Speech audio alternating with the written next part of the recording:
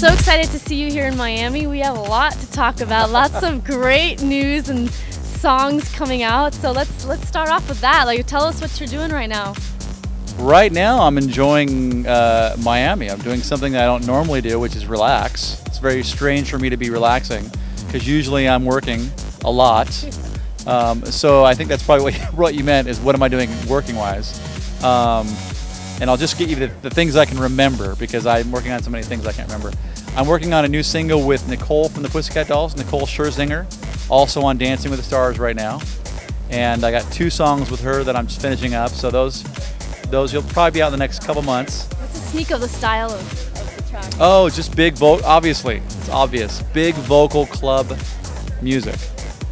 Hands in the air, big, big, big songs with Nicole singing her lungs out. So I'm very, very excited about. I mean, probably the most exciting project I've ever worked on. Really, I'm very, very excited about it. So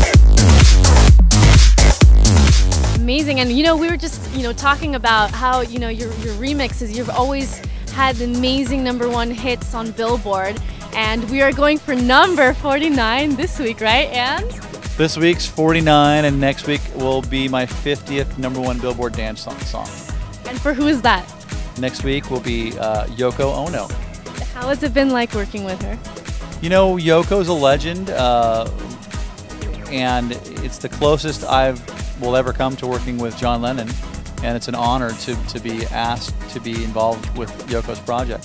So every time she calls me to do a song, I will absolutely do it, drop everything else and do it. That, you know, but you've been honored with a nomination for a Grammy this year. What was that experience?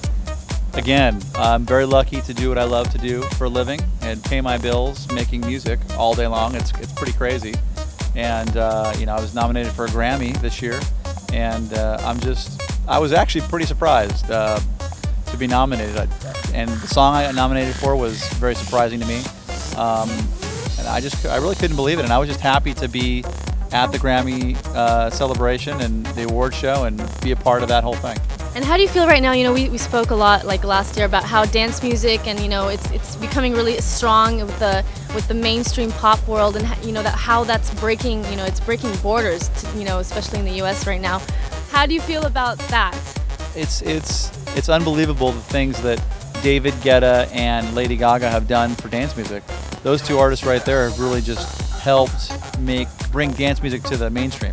People people that really weren't uh, listening to to dance radio are now listening to dance radio because of artists like Kesha or Lady Gaga or Akon or David Guetta, all these artists that have these dance songs that people people really don't consider them dance songs. They're just fun songs to dance to.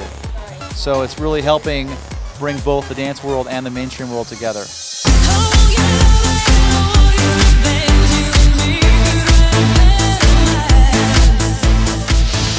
This is something that's gonna really, you know, stick?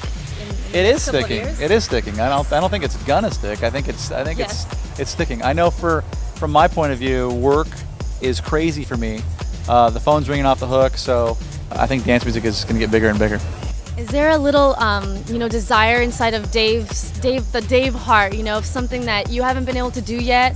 You know, you've been, you know, creating so many tracks, so much work with, you know, major artists dance artist, what's what's something that's inside of you know a little secret desire that you really haven't maybe something you haven't done yet that you'd like to do achieve? Well, uh, you know, I'd like to do a song with Steve Perry from Journey. So I'm trying to track Steve down and try to get him out of retirement. So Steve, if you're watching this, give me a call.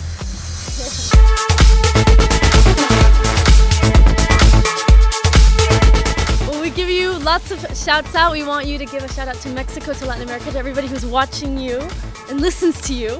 Hola, Latin America. Me llamo David. That's that's about it. That's all my Spanish. Mr. Audacious.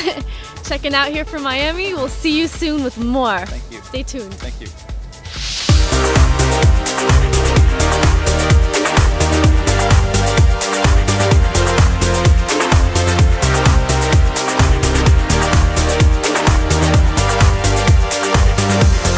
Hi, this is Grammy nominated producer Dave Audé. You're watching EMPO TV.